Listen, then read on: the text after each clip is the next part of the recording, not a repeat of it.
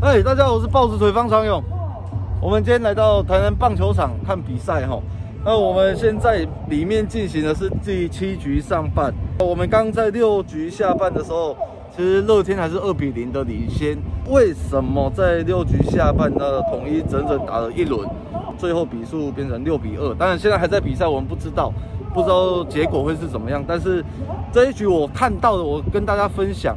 其实，在黄子鹏换上陈冠宇的时候，那个时候比数是二比一。他第一个面对到林俊汉，先投出一个四外球保送，之后遇到苏志杰哦。我现在要讲的这个，我看我所看到的，那也把它分享给这些有在打棒球的朋友们。这个是一个可以去探讨的一个点。在面对第六棒苏志杰的时候，很快的取得两颗好球的领先，但是两好球没有坏球的情况下，被苏志杰击出了一支安打，有一分的打点扳平了比数。两颗好球的时候，不是不可以投变化球，是那一颗变化球可能就必须要投的稍微开一点，要不然的话，可能就会比较形成安打，因为打者的心态一定是我两颗好球的球差不多，我就一定会去做攻击。那你又是变化球，球速又比较慢的情况下，就比较容易破坏的节奏，结果还去打成了安打，那造成了失分的结果。OK，再次重申，不是不可以投变化球。我觉得在苏志杰这个打击有一个更好的选择，就是在两颗好球的时候，你要投变化球可以开一点。但是我觉得啦，因为我的观察在旁边的观察，我觉得苏志杰尤其在第二颗好球，他的挥空其实是明显的慢的，跟不上他的速球。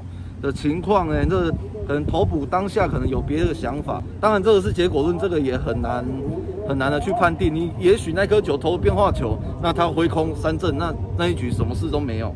在这个时候，乐天桃园换上朱俊祥，那面对到第七棒陈崇挺，其实跟上一个打席是一样的意思，也是一样很快的取得两颗好球的领先。但是呢，第三颗好球他投了一个变化球，那被打了一个三游川的安打。其实从这两个打席，我们可以看到，其实都是很快，两位投手都是非常有球速的投手，直球的品质也都非常好。第三颗球他投的，他选择使用变化球，那都投的太甜了。其实是可以试着把它投的开一点。大家可以看得到陈崇廷吼那一颗球，他其实也是身体重心被破坏掉之后打。就刚好碰到球，也碰到球，那刚好运气好，刚好从找个洞穿出去。那在陈松，你这个打席，他这次安打产生就变成三比二。那后面的林丹打出全垒打，那就变成六比二。那现在的目前比数是六比二的情况，这个是结果论的问题。只是我刚好有看到，那把这个东西，把这个案例把它提出来，给大家有一个经验上的建议。我希望说，看我这个频道有在打球的朋友们都可以。呃，我们一起成长，也不是说我比较厉害。今天刚好有空档来看比赛，那刚好看到这些东西，那跟大家分享。乐天桃园为什么会在两颗好球之后，他们会选择配变化球？其实我相信他们也一定有做一定的勤收，或他们对对方一定有相当程度的了解，只是说那个球可能没有控好就失投了。因为两颗好球之后投的变化球，打者的心态，他两颗好球来了。第三颗好球差不多差不多，我一定会去做攻击，要不然我不可能站着被三振。那变化球的品质一定会比直球还要来得慢一点，那又刚好投在比较甜的位置，虽然已经成功的破坏到打者的重心，但是还是最后形成安打。这个其实棒球之神在六局下半是站在同一师这一边。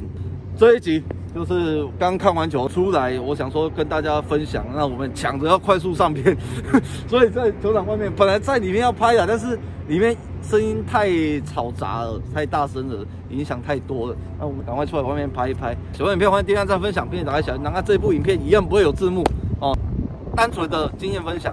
OK，下次见了，拜拜。哎，要帮我订阅好不好？帮我们订阅一下。OK，拜拜。